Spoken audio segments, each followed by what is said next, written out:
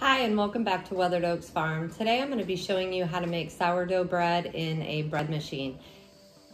Now I do make sourdough bread in the oven, but this is just a quick and easy way to get sourdough bread on your table. So let's get started.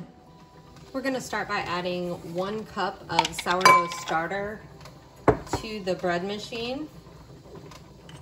Measure that out.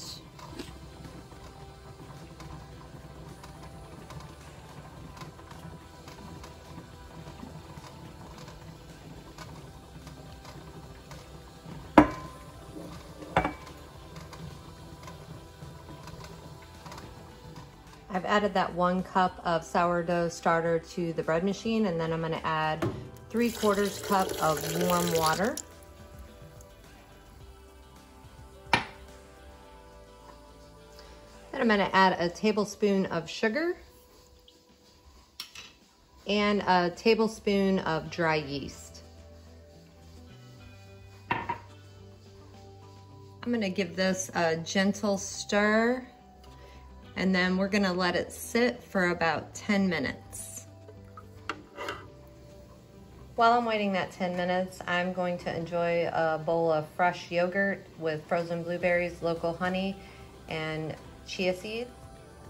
If you enjoy yogurt, please check out my video on how I make yogurt using our raw milk from our milk cow. After that 10 minutes, I'm gonna add the last three ingredients, which is three cups of flour.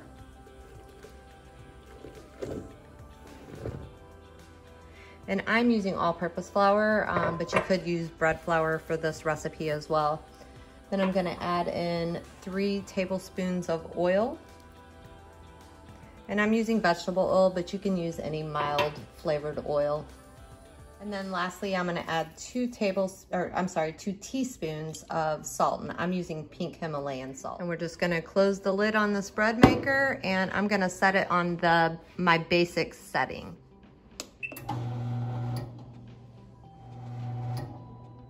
This process will take about three hours and 40 minutes. So when it's done, I'll take it out and show you guys how it turned out. So my sourdough is done now. I'm gonna go ahead and get it out of the bread machine and put it on a cooling rack.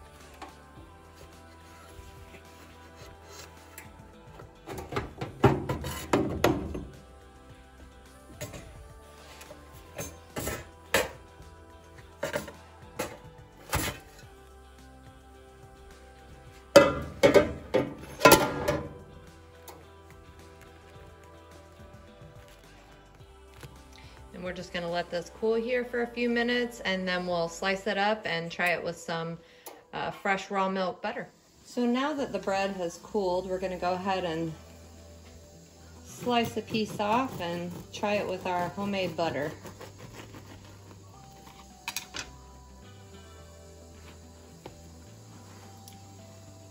Slice this in half. Unwrap our homemade butter. Some of this butter on here and give it a try.